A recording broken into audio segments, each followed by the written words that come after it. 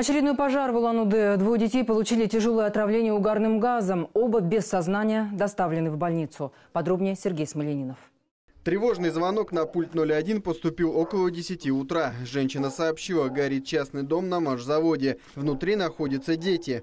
По прибытию к месту вызова, значит, было установлено, что загорание внутри квартиры внутри дома стоять, и внутри дома находились двое несовершеннолетних детей. В результате пожара выгорела детская мебель на площади где-то 10 квадратных метров. Повреждена сама комната. В момент ЧП девочка 8 лет и ее трехлетний брат были одни. По нашей информации, мама оставила их ненадолго. Когда случился пожар, старшая успела позвонить родным. Мать кинулась в дом и смогла вынести сына. Женщина находится на девятом месяце беременности. После пожарные спасли второго ребенка. Бригада через 9 минут была на адресе. По прибытию два ребенка, возраст 3 года и 8 лет, без сознания э, находились уже извлеченными из этого дома. Двух детей в тяжелом состоянии госпитализировали в детскую больницу города Улан-Удэ. Токсикологическое отделение.